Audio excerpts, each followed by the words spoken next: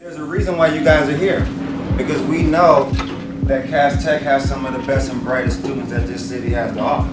We know that there are a lot of schools that have a lot of uh, talented and bright students.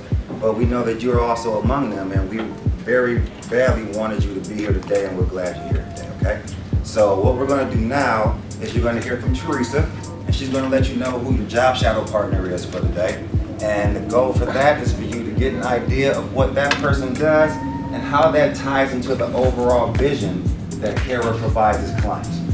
And part of that is what we want you to see is how the different disciplines and the different skill sets come through this entire organization and how they pull all those things together to provide value to their client.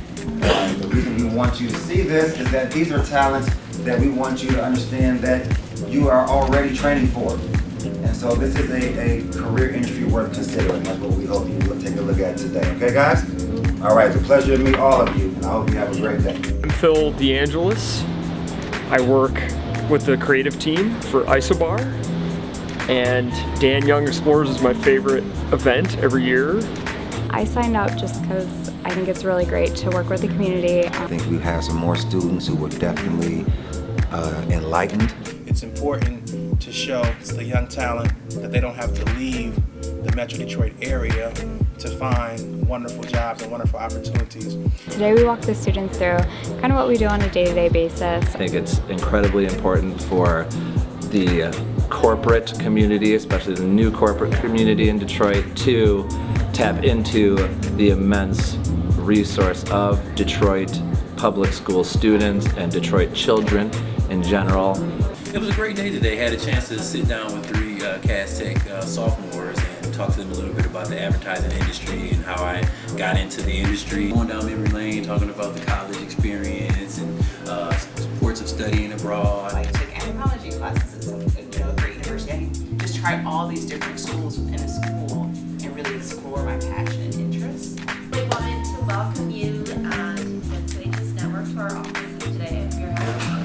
just the nature of the business um, because a lot of the data um, that we do have, it tells a story for our client. We have a team here who's working with the show to say like, hey, we have this car, these are the features we really like, and then they work with us, like the uh, black-ish producers work with us to say like, okay, well this is the plot we're thinking for the show, how can we build it in? Anything that we make that you read online, watch online, hear online, all of that stuff runs through my team, so that's what I do there, okay?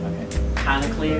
halfway clear? Okay. All right, so five companies. I'm, I'm blessed to have the honor of running two of them. You can't, I can't emphasize enough how important it is to show up, stand up straight, give them a good handshake. Superman is one of many on Krypton, right? Uh, so anyways, I have a strategy what I call uh, train on Krypton, play on Earth. The idea is you go and you play with the best. You go play with all the A players, you push yourself to be the best version you can.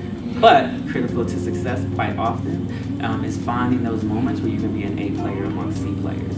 Right? A players get more opportunities, A players get seen, A players get exposure. So today was an amazing experience. I was super excited when Robin asked me to come present, um, especially to high school students. Um, I have presented to college students on the same subject. Um, I present to clients all the time. And what's so special about this is um, how eager they are to listen and hear and how amazed they are by what we do every day. I wish I would have had this sort of exposure at that age um, to sort of know what the advertising business was all about. Um, so it was it was super fun for me to be able to share my knowledge. Hopefully, um, I've sparked some interest in some of those minds there that make them want to pursue a career in advertising, and hopefully they take out of it that they were exposed to something that they may have otherwise not been able to find out about. I learned that uh, advertising is more than just trying to catch the eye. It's about catching the eye, and then after that, keeping it going and figuring out what's useful, what's not useful. Before coming here, I always thought that media was produced by the company.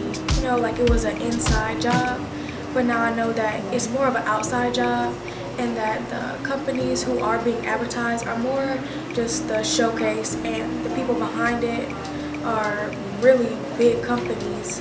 A lot of people don't know about them because they're behind the scenes. I learned a lot of things about advertising and the deeper part of owning a business. I learned that it's not just a one-step process. It takes a lot of different people and they all come together as a team to make one thing happen and how they use different things to find the ad that's perfect for you and how that can affect the business.